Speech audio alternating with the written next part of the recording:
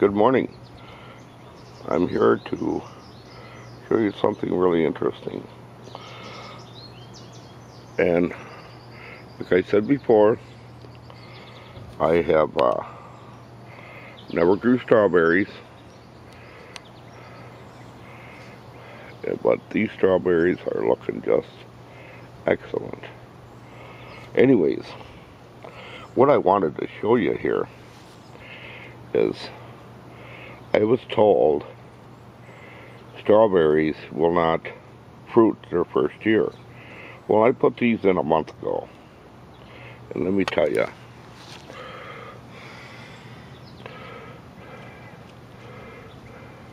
it looks like a strawberry to me and another strawberry right there. Another strawberry. More strawberries. Uh, another one up here. There's another one.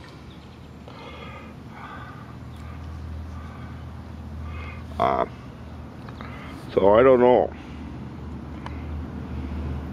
Is this a special strawberry or what?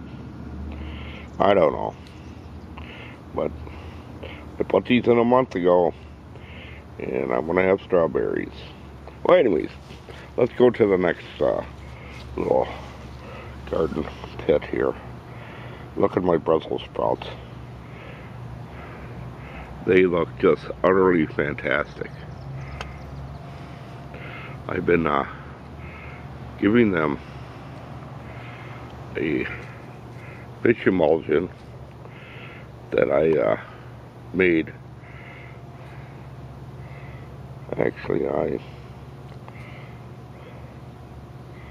This one right there isn't uh, doing so well.